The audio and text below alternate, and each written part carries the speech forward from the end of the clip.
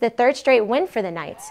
During this three-game winning streak, they outscored their opponent 11 to 1. Four different Knights scored a goal. Senior Zandy Zori led the way with two goals. The Knights were dominant from the start.